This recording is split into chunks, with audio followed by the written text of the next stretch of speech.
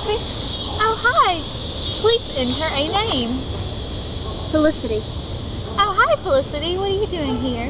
Just going for a walk. Okay, well, um, well, do you want to sit and talk for a minute? I kind of have something I want to talk to you about. Sure.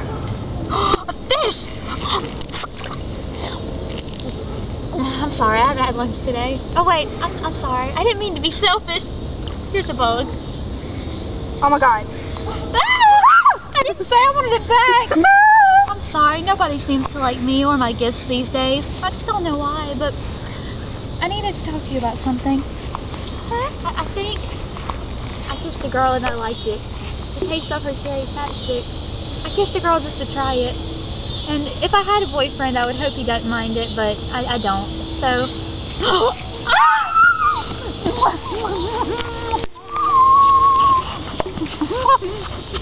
Will you marry me? No! Look, I even bought you the string. Please, please don't leave me. No!